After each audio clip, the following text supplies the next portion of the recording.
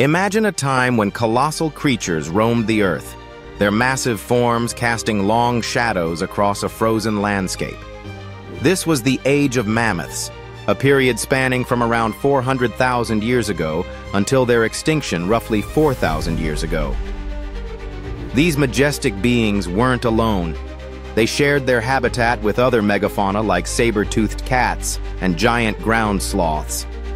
Mammoths were equipped with thick, shaggy fur, long curved tusks, and a layer of fat to insulate them against the frigid temperatures of the Ice Age. They were herbivores, foraging for grasses, shrubs, and even the bark of trees to sustain their massive bodies. Their herding behavior fostered social bonds, much like modern elephants.